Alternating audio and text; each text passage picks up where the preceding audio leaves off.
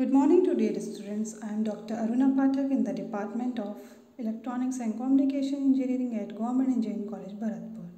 Today's topic is network layer logical addressing.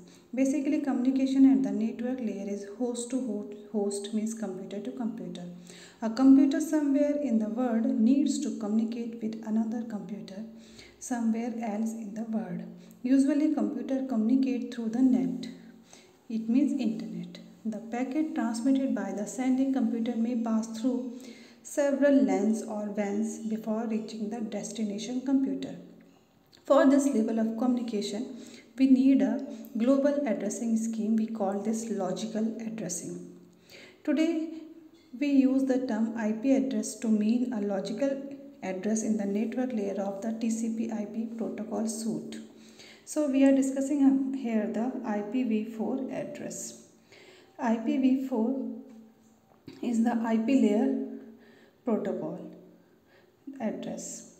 An IPv4 address is an 32 bit address that uniquely and universally defines the connection of a device, for example, a computer or a router, to the internet. IPv4 addresses are unique. They are unique in the sense that each address defines one and only one connection to the internet two devices on the internet can never have the same address at the same time. We will see it in the next here. If a device operating at the network layer has M connections to the internet, it needs to have M addresses.